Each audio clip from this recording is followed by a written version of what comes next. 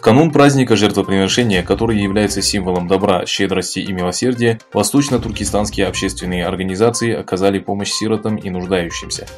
Уйгурские организации Турции и Центральной Азии, различные ассоциации и меценаты протянули руку помощи всем нуждающимся в этот праздничный день. Участники группы Freedom Found пожертвовали денежные средства для студентов, сирот и малообеспеченных семей, испытывающих трудности в Турции. Кроме того, добровольцы продолжают распространять жертвенное мясо и оказывать другие виды помощи.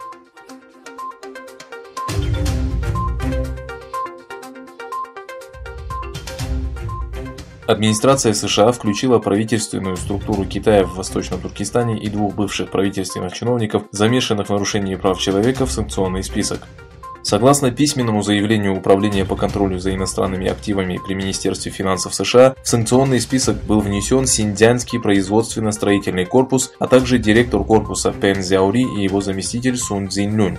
Учреждения и лица, внесенные в черный список, совершали преступления, связанные с нарушением прав человека в Восточном Туркестане, давлением на уйгуров и других тюрков, массовыми и необоснованными арестами, а также физическим насилием.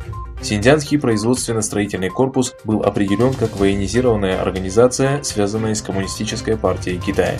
Производственно-строительный корпус отвечает за контроль и выполнение плана Коммунистической партии Китая по экономическому развитию региона. Согласно утверждению Минюста США, корпус имеет 14 дивизий, состоящих из десятков полков.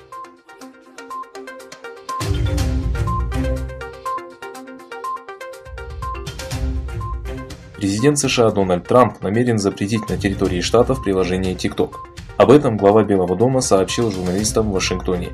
Американский лидер пояснил, что подпишет соответствующий исполнительный указ или использует чрезвычайные экономические полномочия.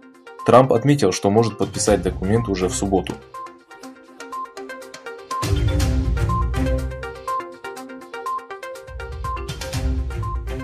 Германия приостанавливает действие соглашения о взаимной экстрадиции с Гонконгом в связи с решением этого специального административного района Китая отложить на год выборы в Законодательный совет, намеченные на 6 сентября. Об этом в пятницу 31 июля сообщил министр иностранных дел Германии Хейка Маас. По его мнению, решение не допустить к выборам десяток оппозиционных кандидатов, а также перенос сроков голосования являются очередным посягательством на права граждан Гонконга.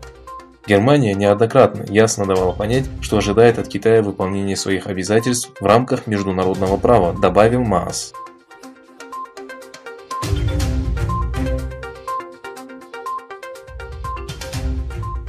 Президент США Дональд Трамп предложил отложить президентские выборы в США, которые намечены на ноябрь этого года. Американский лидер написал об этом в своем твиттере. Он связал необходимость переноса выборов с пандемией коронавируса и опасностью мошенничества при голосовании по почте. Учитывая всеобщее голосование по почте, выборы 2020 года будут самыми недостоверными и мошенническими в истории США. Это будет огромным позором для нашей страны. Нужно перенести выборы, чтобы люди могли проголосовать должным образом, в спокойствии и безопасности, написал президент. В шести штатах ноябрьское голосование планируют полностью провести по почте. Это Калифорния, Юта, Гавайи, Колорадо, Орегон и Вашингтон. Дональд Трамп не может отложить ноябрьское голосование без поддержки Конгресса, который контролируют демократы, и именно там будут голосовать по его инициативе первыми.